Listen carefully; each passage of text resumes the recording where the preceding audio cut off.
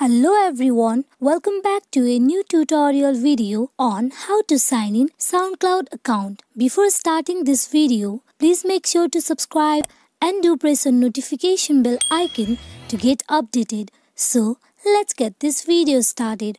First of all, you need to tap in open SoundCloud application. As you can see, create an account and I already have an account.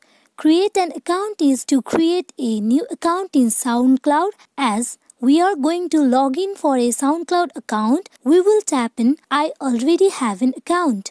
Here, you also can log in with Google, Facebook and also your Apple account if you had registered your SoundCloud account earlier with these accounts. But I created my SoundCloud account with my email. So I am going to tap in email and provide my email address.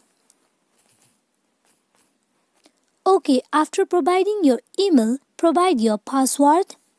Here, after providing both your email and password, tap in continue.